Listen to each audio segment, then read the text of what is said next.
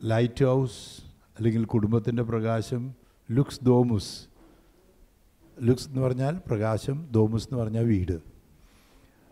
അങ്ങനെ ഉള്ള ഒരു കോൺഫറൻസ് സിമ്പോസിയം അല്ലെങ്കിൽ ഒരു ഗാദറിങ് ഇവിടെ കുടുംബ തൃശ്ശൂരിലെ ഫാമിലി അപ്പോസ്ലേറ്റിന്റെ നേതൃത്വത്തിൽ സമർപ്പിത കുടുംബങ്ങളുടെ സംഘടനയായി കുടുംബ പ്രേക്ഷിതത്വത്തിന് വേണ്ടി കുടുംബങ്ങളുടെ വിശദീകരണത്തിന് വേണ്ടി പ്രവർത്തിക്കുന്ന ലോഫിന്റെ നേതൃത്വത്തിൽ ഇവിടെ ഒന്നിച്ചു കൂടിയിരിക്കുമ്പോൾ പ്രത്യേകിച്ചും വലിയ സന്തോഷമുണ്ട്.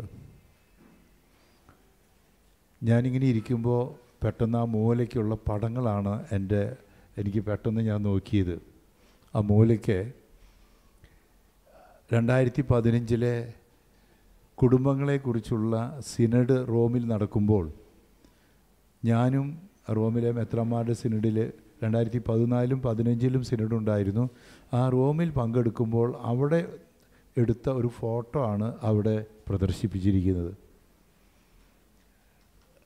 ആ പ്രദർശനത്തിന്റെ ആ പ്രദർശിപ്പിച്ചതിന്റെ കാരണം കുടുംബങ്ങളെക്കുറിച്ചുള്ള ചർച്ചകൾ ഇങ്ങനെ നടന്നു. എല്ലാവരും ഏതെങ്കിലും ഏതെങ്കിലും ഒരു കൊച്ചു വിഷയത്തെക്കുറിച്ച് എല്ലാ പങ്കെടുത്ത എല്ലാവരും അവിടെ അവതരിപ്പിക്കേണ്ടിയിരുന്നു. അതിൽ ഗാർഹിക സഭയെക്കുറിച്ചും പ്രത്യേകിച്ച് അവിടെ വളരെ വളരെ വളരെയേറെ സമയം തന്നെ ചർച്ച ചെയ്തൊരു വിഷയമാണ് അക്കമ്പനിമെന്റ് സഹഗമനം. പിന്നെ ഡൈവോഴ്സ്ഡ് ആൻഡ് റീമാരീഡ് ആയിട്ടുള്ളവരുടെ അങ്ങനെ ഒത്തിരി പ്രശ്നങ്ങൾ അവിടെ കൈകാര്യം ചെയ്തു. അതിന് വെളിച്ചത്തിലാണ് അമോരിസ് ലത്തീസിയെ സ്നേഹത്തിന്റെ സന്തോഷം എന്നുള്ള പ്രബോധനം പിന്നീട് മാർപ്പാപ്പ പുറത്തിറക്കിയത്.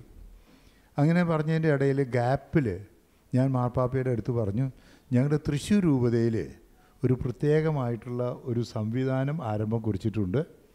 അത് ലോകത്തിൽ ആദ്യമായിട്ടുള്ളത് ഇവിടെയാണ് തുടങ്ങിയത്. അച്ഛന്മാർക്കും കന്യാസ്ത്രീകൾക്കൊക്കെ കോൺസെൻട്രേറ്റഡ് ലൈഫ് അപ്പോൾ സിസ്റ്റേഴ്സിന് വിളിക്കുന്ന അല്ലെങ്കിൽ വിളിക്കുന്ന പേര് നിങ്ങൾക്ക് അറിയാലോ അല്ലേ?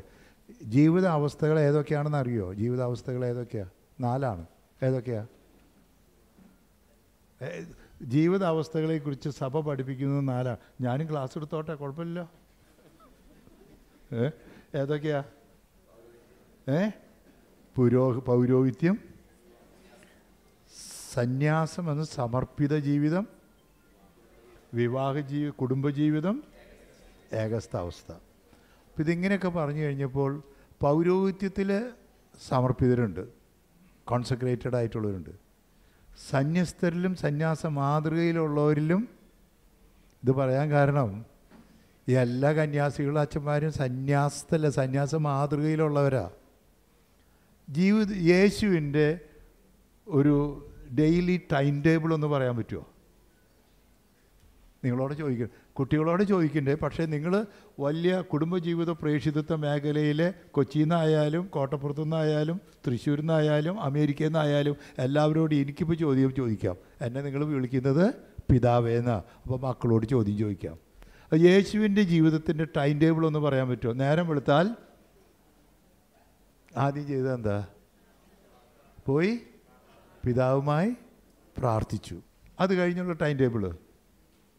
ഗ്രാമങ്ങൾ തോറും നഗരങ്ങൾ തോറും ചുറ്റി നടന്ന് എന്തൊക്കെ ചെയ്തു?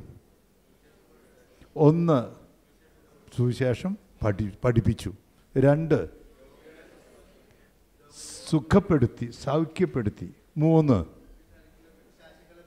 പിശാചുക്കളെ ബഹിഷ്കരിച്ചു. അതൊരു തരം സൗഖ്യമാണ്. മൂന്നാമത്തത് നല്ലിടയൻ. നല്ലിടയൻ. നല്ലിടയൻ. എന്ത് ചെയ്തു നല്ല ഇടയൻ എന്താ ചെയ്യുന്നത് കാണാതെ പോയി അന്വേഷിക്കുന്നത് അദ്ദേഹത്തിന്റെ ജീവിതത്തിന്റെ ഒരു ഭാഗം മാത്രമാണ് ഏ? മേയിക്കുക നയിക്കുക. അങ്ങനെയുള്ള യേശുവിന്റെ ത്രിവിധ ദൗത്യങ്ങളെക്കുറിച്ച് പറയുന്നത് ഏതാ? ആ ത്രിവിധ ദൗത്യങ്ങൾ ഏതൊക്കെയാണ്? യേശുവിന്റെ ത്രിവിധ ദൗത്യങ്ങൾ. അതിൽ ഫസ്റ്റ് ഏതായിരുന്നു കൂടി പറയാണ്. മാമൂസ സ്വീകരിച്ച എല്ലാവർക്കും ഒരു തരത്തിൽ അല്ലെങ്കിൽ മറ്റൊരു തരത്തിൽ ഈ ത്രിവിധ ദൗത്യങ്ങളിൽ അവരുടേതായ ജീവിതാവസ്ഥയ്ക്ക് അനുസരിച്ച് പങ്കെടുക്കേണ്ടതുണ്ട്. ഏതൊക്കെയാണ് ഈ ത്രിവിധ ദൗത്യങ്ങൾ? ത്രിയ മൂനര?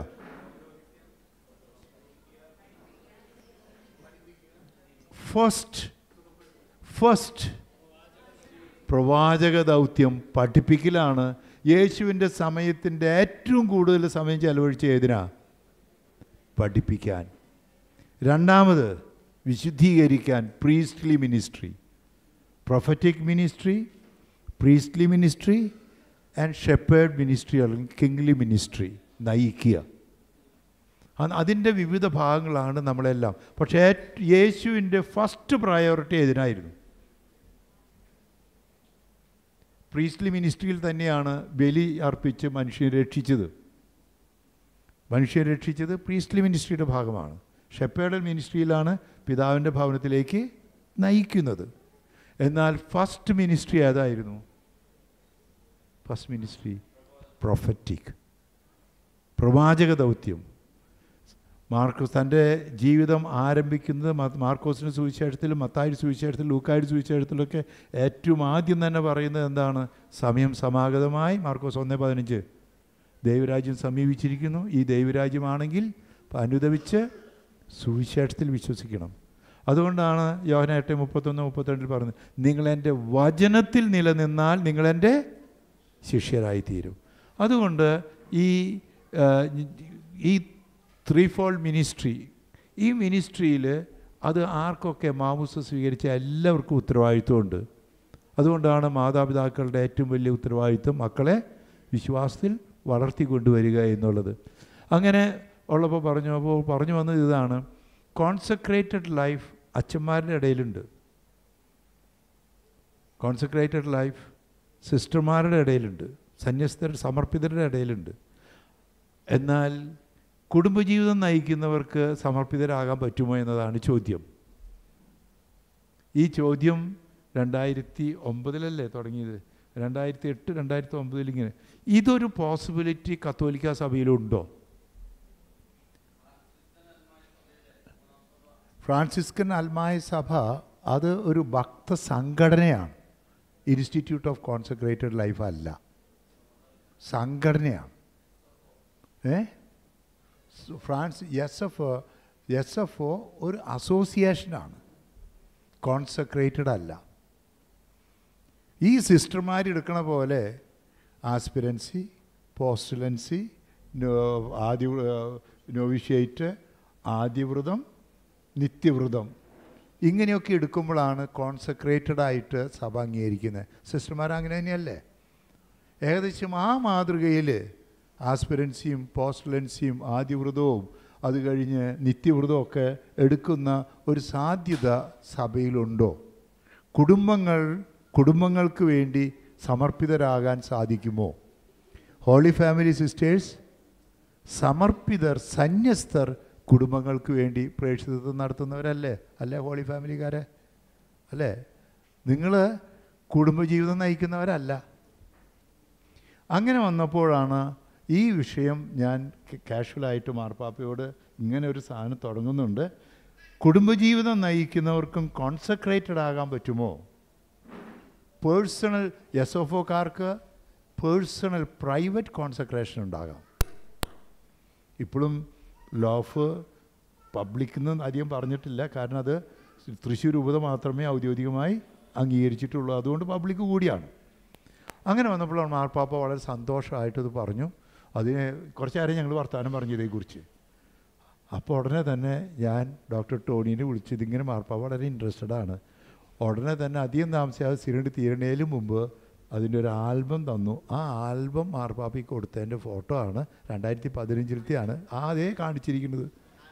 ആൽബം കൂടി ഉണ്ടാ അപ്പോൾ ഞാൻ അത് ഇത് ആ ഫോട്ടോ കണ്ടതാണ് ഇത് പറയാൻ പ്രേരകമായത്.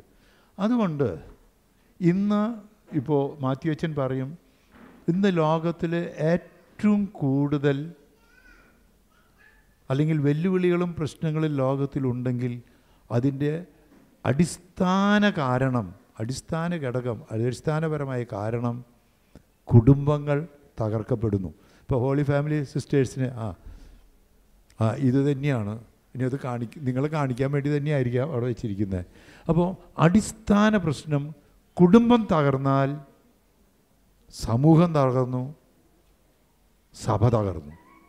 ഇന്ന് കത്തോലിക്ക സഭയിലെ ഏറ്റവും വലിയ പ്രശ്നം അന്യം നിന്ന് പോകുന്ന ഒരു സമുദായമായി കത്തോലിക്ക സഭ ഇന്ത്യ ഇന്ത്യയിലെ ഏറ്റവും ആദ്യം നിന്ന് പോകുന്നത് പാർസികളാണെങ്കിൽ രണ്ടാമതായിട്ട് നിന്ന് പോകുന്നത് മാർത്തോമൈറ്റ് കമ്മ്യൂണിറ്റിയും കാത്തലിക് കമ്മ്യൂണിറ്റി അതിൽ സീറോ മലബാർ കമ്മ്യൂണിറ്റി പിന്നെയാണ് ലത്തീൻ കമ്മ്യൂണിറ്റി ഒക്കെ വരുന്നത്. അന്യം നിന്ന് പോകുക നമ്പർ ഇല്ലാതാകുന്നു. ഇപ്പോൾ ഹോളി ഫാമിലി സിസ്റ്റേഴ്സിനെ കണ്ടപ്പോൾ കഴിഞ്ഞ ഏതാനും ഒരു മാസം ഒന്നര മാസം മുമ്പ് നമ്മുടെ പാസ്റ്ററമ്മ ഇവിടെ വന്നിരുന്നു മുൻ ജനറാളമ്മ മുൻ ജനറാളമ്മ ഇപ്പോൾ കനഡയിലെ ഹോം മിനിസ്ട്രി നടത്തി കുടുംബ പ്രേക്ഷിതത്വം നടത്തിക്കൊണ്ടിരിക്കുക. നമ്മൾ വിചാരിക്കും നമ്മുടെ മക്കളൊക്കെ ഈ യൂറോപ്പിൽ പോയാൽ രക്ഷപ്പെട്ടു എന്നാണ്. ഇന്ന് എല്ലാവരുടെ ചിന്തയും മക്കളെ പതിനെട്ട് വയസ്സ് ആകുമ്പോഴേക്കും എങ്ങനെയെങ്കിലും യൂറോ യൂറോപ്പിലോ അമേരിക്കയിലോ ഓസ്ട്രേലിയയിലോ ഒക്കെ എത്തിക്കുക എന്നുള്ളതാണ്. കൂടുതൽ പോകുന്നത് കനഡയിൽ ലേറ്റസ്റ്റ് ആയിട്ട് ജർമ്മനിക്കൊക്കെയാണ്. അവിടെ പോയ സുഖജീവിതം സ്വർഗജീവിതം എല്ലാ പ്രശ്നങ്ങളൊക്കെ തീർന്നു എന്നാണ്. പാസ്റ്ററമ്മ കുടുംബ പ്രേക്ഷിതത്വം നടത്തുമ്പോൾ പിതാവേ അവിടുത്തെ കുടുംബങ്ങളിലേക്ക് പോവുകയാണ്. പിന്നെ കല്യാണം കഴിക്കാത്ത പിള്ളേരാണെങ്കിൽ എല്ലാവരും കൂടി ഒരു കുടുംബത്തിലാണ് ജീവിക്കണം. അപ്പോൾ പ്രശ്നമില്ല.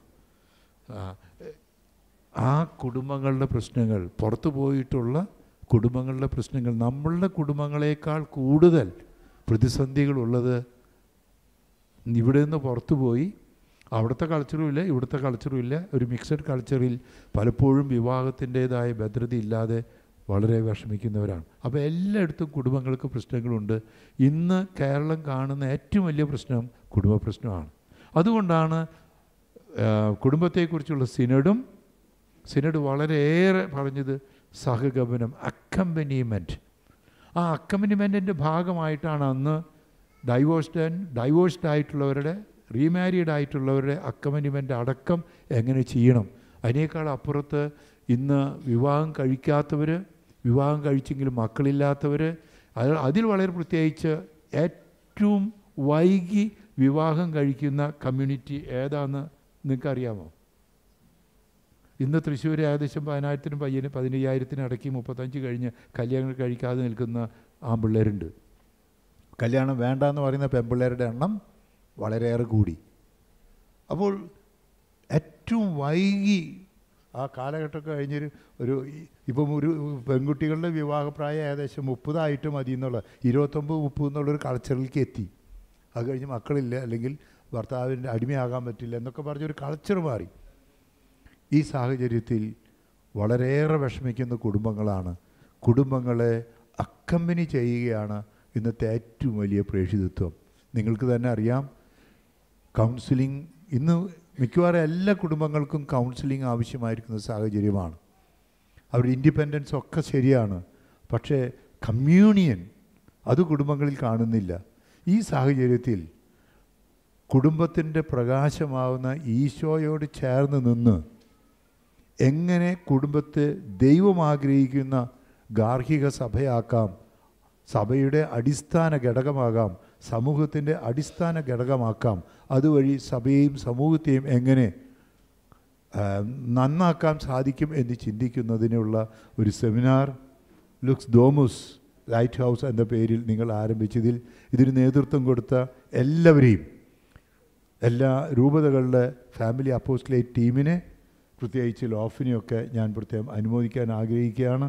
ഈ സെമിനാർ നിങ്ങൾക്ക് നിങ്ങൾക്ക് മാത്രമല്ല നിങ്ങളിലൂടെ നിങ്ങൾ ഈ അക്കമ്പനിമെന്റ് നടത്തുന്ന കപ്പിൾസാണ് അല്ലെങ്കിൽ വ്യക്തികളാണ് നിങ്ങൾ. നിങ്ങളിലൂടെ വളരെയേറെ കുടുംബജീവിതം നയിക്കുന്ന കപ്പിൾസിന് കുടുംബസ്ഥ ഗാർഹിക ജീവിതം നയിക്കുന്നവർക്ക് അനുഗ്രഹമാകട്ടെ എന്ന് ഞാൻ ആശംസിക്കുകയാണ്. നിങ്ങൾ സഭയുടെ പ്രേക്ഷിതരാണ്. ഒന്നാമത്തെ ദൗത്യം പഠിപ്പിക്കലാണ്. അത് കഴിഞ്ഞ് സുഖപ്പെടുത്തലാണ്. അത് കഴിഞ്ഞാണ് നയിക്കൽ അങ്ങനെ ത്രിവിധ ദൗത്യങ്ങൾ നടത്തുന്ന നല്ല ഗാർഹിക സഭയിലെ സമർപ്പിതരായി തീരാൻ നിങ്ങൾക്കെല്ലാവർക്കും അനുഗ്രഹി ദൈവം അനുഗ്രഹിക്കട്ടെ എന്ന് പ്രാർത്ഥിച്ചുകൊണ്ട് ഈ ലുക്സ് ഡോമിസ് സിമ്പോസിയം ഔപചാരികമായി ഉദ്ഘാടനം ചെയ്യുന്നതായി പ്രഖ്യാപിക്കും